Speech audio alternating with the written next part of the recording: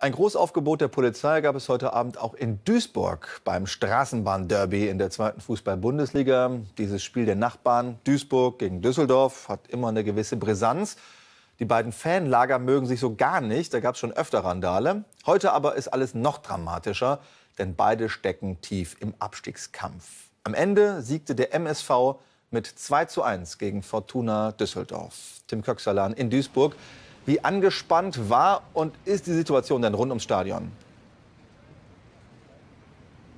Also aktuell ist die Lage relativ entspannt. Vorher sah das natürlich anders aus, auch angesichts der sportlichen Situation. Aber dieses Straßenbahn-Derby, du hast es gesagt, das hat immer schon eine gewisse Brisanz in sich geborgen und das hören wir auch jetzt wieder. Äh, hinter mir, das ist der VIP-Bereich beim MSV. Da treffen sich gerade Mannschaft, Spieler, Trainer und Sponsoren und feiern noch ein bisschen. Der ein oder andere jubelnde MSV-Fan trudelt hier noch rum, aber die meisten Fortuna-Fans, die sind natürlich schon auf dem Nachhauseweg. Eine hektische Szene, die haben wir äh, mitbekommen, das war vor Anpfiff oder nach Anpfiff. Da waren einige hundert Fortuna-Fans noch immer nicht in ihrem Block. Es hat strenge Kontrollen gegeben und die haben dann diesen Eingang gestürmt. Dabei wurde auch eine Ordnerin leicht verletzt. Ihr soll es aber recht gut gehen. Und dann hat es auch diese hässlichen Szenen in diesem Derby gegeben. Und es hat etwa 20 Minuten gebraucht, bis dann wirklich alle Fans in den Gästeblock geleitet wurden. Und wie wir jetzt wissen, wurden dann während des Spiels auch doch noch Pyrotechnik gezündet. Nach dem Spiel lief das alles deutlich entspannter ab. Die Düsseldorf-Fans natürlich niedergeschlagen wegen des Ergebnisses, aber die Polizei hatte da keine großen Schwierigkeiten, geleitete dann sowohl die MSV-Fans als auch die Fortuna-Fans zu den umliegenden Bahnhöfen. Die Bilanz der Polizei fällt relativ äh, ja, bescheiden aus. Äh, neun Verletzte gibt es, acht Zuschauer, ein Polizist, vier Strafanzeigen wegen Übergriffen auf Polizisten. Das ist für ein so hitziges Derby, wie es heute hier in Duisburg war, doch eine, noch eine relativ gute Zahl.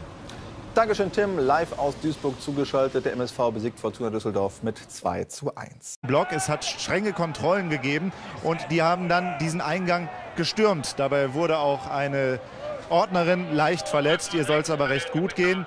Und dann hat es auch diese hässlichen Szenen in diesem Derby gegeben. Und es hat etwa 20 Minuten gebraucht, bis dann wirklich alle Fans in den Gästeblock geleitet wurden. Und wie wir jetzt wissen, wurden dann während des Spiels auch doch noch Pyrotechnik gezündet.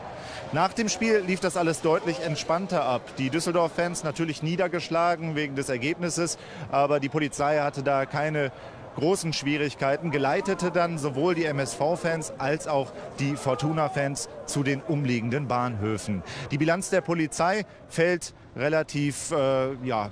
Ein Großaufgebot der Polizei gab es heute Abend auch in Duisburg beim Straßenbahnderby in der zweiten Fußball-Bundesliga. Dieses Spiel der Nachbarn Duisburg gegen Düsseldorf hat immer eine gewisse Brisanz. Die beiden Fanlager mögen sich so gar nicht, da gab es schon öfter Randale. Heute aber ist alles noch dramatischer denn beide stecken tief im Abstiegskampf. Am Ende siegte der MSV mit 2 zu 1 gegen Fortuna Düsseldorf. Tim Köxalan in Duisburg. Wie angespannt war und ist die Situation denn rund ums Stadion?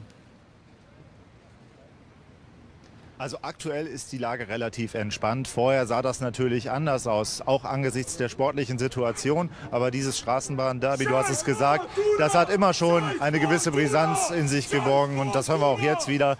Äh, hinter mir, das ist der VIP-Bereich beim MSV. Da treffen sich gerade Mannschaft, Spieler, Trainer und Sponsoren und feiern noch ein bisschen.